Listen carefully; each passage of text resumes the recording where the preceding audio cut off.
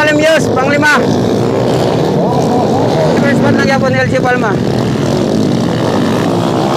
Ivan Alamis, second spot. Para sa spot. Boss Andrew.